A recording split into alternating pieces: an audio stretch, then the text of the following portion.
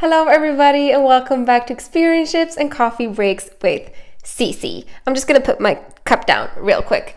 Um, but this is the place for you looking to explore careers. Every week we upload new career uh, advice on this channel, so make sure you subscribe and turn on the little bell so that you get a notification every time we upload something new.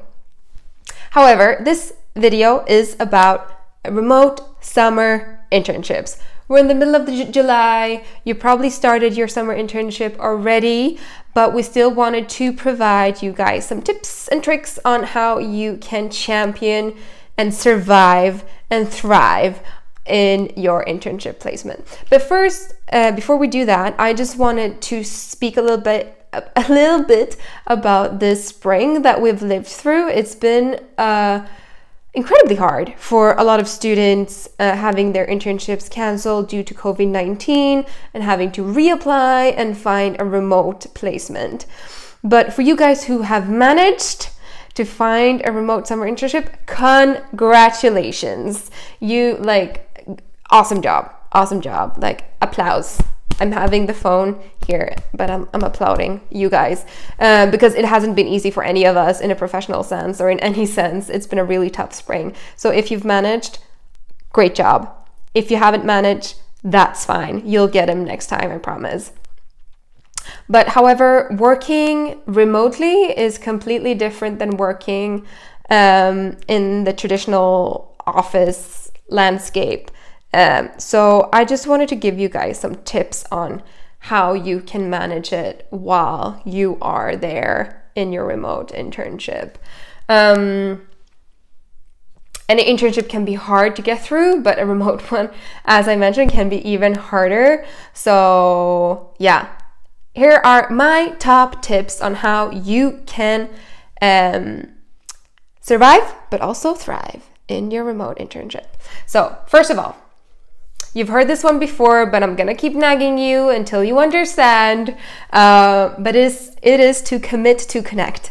Um, maybe not so much well it is in a digital digital way i was to say it's not in a digital way but it is definitely in a digital way uh, in a remote internship make sure you connect with your uh, teammates on linkedin but also make sure that you connect with them uh, not only in meetings um, but also invite them for a virtual coffee, like we're doing now. You know?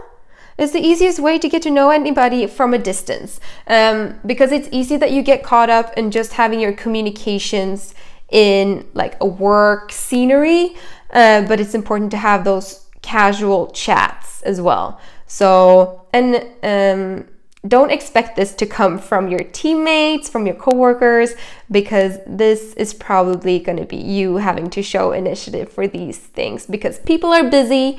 Um, but if you say, like, hey, I want to get to know you better, let's have a coffee on Zoom uh, on Friday at 3, I'm sure they're going to say yes. And this also, you know, helps you make an impression on the people you're working with and showing some initiative. So commit to connect. I can't say it enough. Um, but uh, another thing that's really important when you're working remotely is uh, or to remember to not overdo it. You shouldn't underdo it. You shouldn't be lazy and be like, ah, I'll work from bed today. Well, you can do that as long as you get the job done, but um, but you know, don't chill too much can be difficult. Um, sometimes when you once you crawl down into bed and you turn on netflix instead.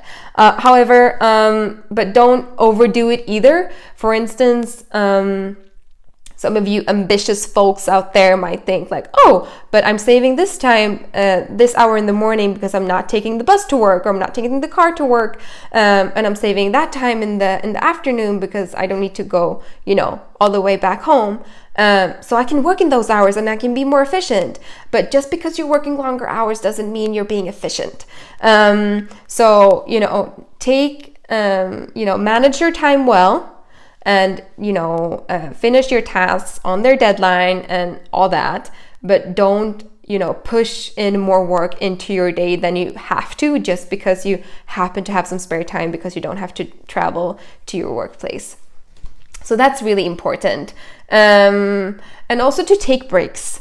uh, you don't have that natural you know you don't walk around you don't have a, a you don't go out for lunch you don't you know walk into meetings you don't have those water cooler conversations like make sure you take your breaks you stand up from your desk and you stretch because our bodies are not made to sit in front of a computer screen all day. So you're gonna get tired and your body's gonna hate you. So make sure that you take time out in the day to um, stand up and stretch and maybe go for a walk um, and get some fresh air because um, we need to love our bodies when working remotely.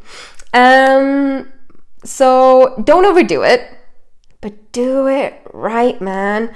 Like, Remember that you are gaining work experience in a time when a lot of other students uh, are not able to. Make sure you honor and respect this opportunity by making the most of it. Uh, I have no doubt you will, but I just wanted to, you know, put some emphasis on it. And also, remote work comes with a lot of responsibility and trust. Make sure you show that you understand this. Um, to your supervisor or to your employer um, that you're like show them that you're reliable show um, showing up on Zoom meetings on time, come prepared, be, you know, be prepared to present what you've been doing lately and be ready to answer questions and make sure you speak up even though you're not in the same room as everyone else and put your ideas forward. It can be really hard to do this in Zoom meetings um, because it's like, oh, I mute, unmuted my mic and then Adam started speaking and then, you know, and oh shit, my camera was off. I don't know what, you know, it can be difficult, but you'll get the hang of it it's difficult in the beginning, but you'll get the hang of it. And, you know, just um, you you'll, you'll learn how to master it.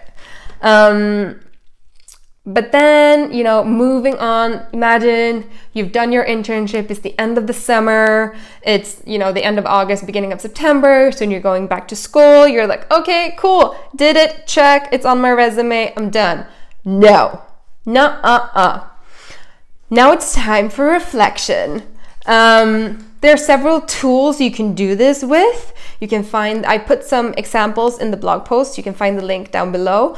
Um, but uh, make sure you reflect on your experience somehow. So you can either do this, you know, just take a mental note uh, on your, you know, sit down for 10 minutes and just whew, think about it.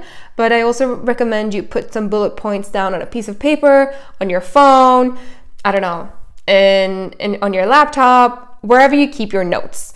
Um, excuse me. Um, so that you have something to revisit later. And it also makes it a lot clearer to you like what you've accomplished what what didn't go well what you can improve in the future etc and if you find the time to do this with your supervisor or your mentor that has been guiding you through your internship even better. Because having their their reflections on on your work also improves um, your reflection and you know having their words can you know have you improve for your next internship experience. So, wow, this video is so long. I don't, I'm, I'm blabbering too much. Sorry, guys. Um, I'm gonna wrap this up now. These were my tips. Um, if you just want to review them fast, you can also go to the blog post where I put everything down in writing. And that was it from this week. I hope you guys enjoy your summers, even though, even if you're interning, if you're working, if you're chilling in the sun. Doesn't matter. I hope you have a great summer, and I'll see you guys next week for a new video. Don't forget to subscribe if you want to take, uh, you know, take part in more uh, career exploration advice. Uh, okay, bye.